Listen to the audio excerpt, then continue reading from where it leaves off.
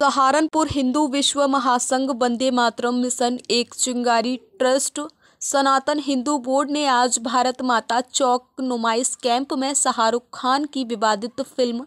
पठान का जमकर विरोध किया। मौके पर शाहरुख खान के पुतले को फांसी पर लटका उसके बाद पुतले को जलाया भी गया और जमकर जूते चप्पलों से महिलाओं ने पीटा। सनातन हिंदू संगठन की माने तो शाहरुख खान ने सनातन धर्म को ठेस पहुंचाई है और उन्होंने मांग की सरकार को तत्काल मूवी पठान पर रोक लगा देनी चाहिए।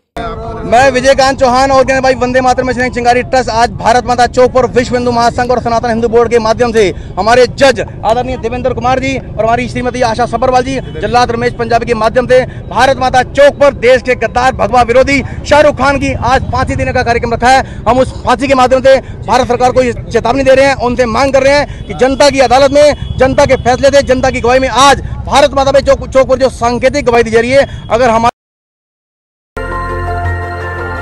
देखते रहिए डीबी भारती समाचार, नज़र हर खबर पर।